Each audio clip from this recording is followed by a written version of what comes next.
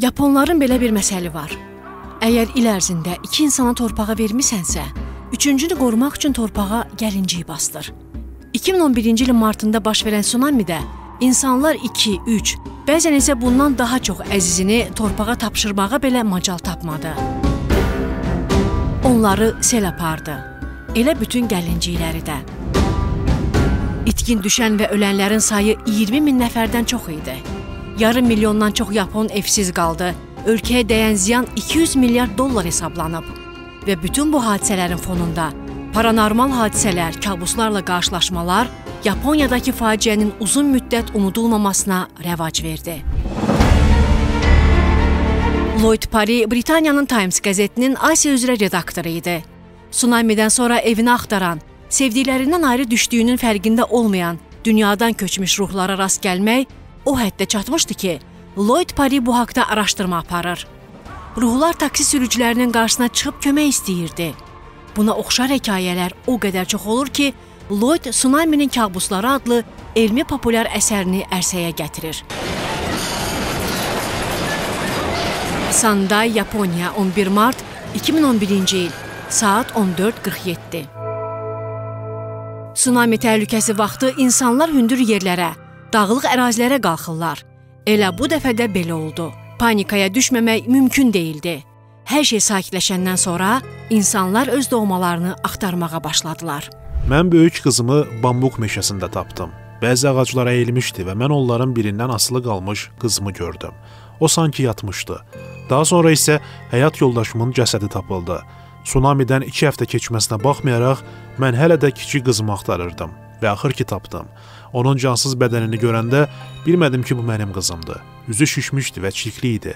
Üzünü təmizləyəndən sonra tanıdım ki, bu mənim kiçik qızımdır. İnsanlar tsunamidə itirdikləri əzizlərini aylarla axtarır, onlardan bir xəbər bilməyə çalışırdılar. Onların ruhları isə küçələrdə gəzişir, yerlə yeksan olmuş xarabalıqlarda ilişib qalmışdılar. Ruhlarla fövqəltəbii qarşılaşma ən çox taksi sürücülərinin başına gəlib. Bir taksi sürücüsünün dediyinə görə kədərli siması olan bir kişi maşına əyləşib və ona getmək istədiyi yeri tərif edib. Ünvana çatanda isə sürücü evin dağılmış xarabalıq olduğunu görüb. Həmin an sərnişin qəflətən yoxa çıxıb. Məsələn, sürücülərdən biri danışıb ki, tsunamidən bir neçə ay sonra avtomobilə bir qadın əyləşib və ondan Miyagi rayonuna getməyi istəyib. Sürücü deyib ki, Miyagi artıq yoxdur. O tsunamidən sonra yerlə yeksan olub. Qadın isə cavabında "Mən ölmüşəm" deyə soruşub və bundan sonra birdən-birə qeyb olub. Sürücülərin arasında da öz yaxınlarını tsunamidə itirən və heç bir xəbər almayanlar var. Məhz bu səbəbdən onlar lazım gəldiyi an kabuslara yardım etməyə hazır olduqlarını deyiblər.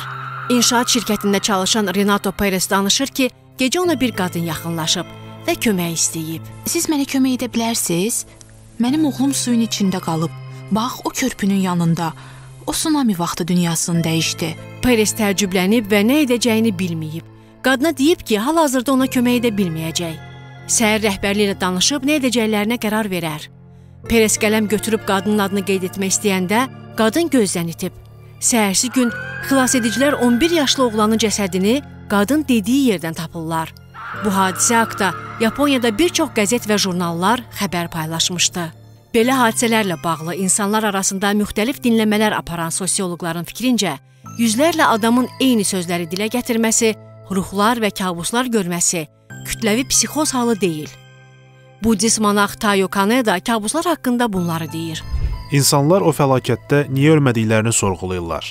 Digərlərinin xilası üçün heç nə edə bilmədiklərinə görə özlərini günahlandırırlar. Bəzi insanlar kabuslardan qorxurlar. Onlardan qorxmaq lazım deyil. Sizdən narahat olduqlarına görə və darıxdıqları üçün qarşınıza çıxırlar. Onlara deyin ki, artıq bu dünyanın sakini deyilsiz. Qoy öz dünyalarında rahatlıq tapsınlar. Tsunamidən sonra belə paranormal hadisələr daha çox öyrənilməyə başladı. Cavabını bilmədiyimiz suallar çoxdur. Dünyasını dəyişmiş yaxınlarımız bəlkə də bizim qoruyucu mələklərimizə çevrilirlər.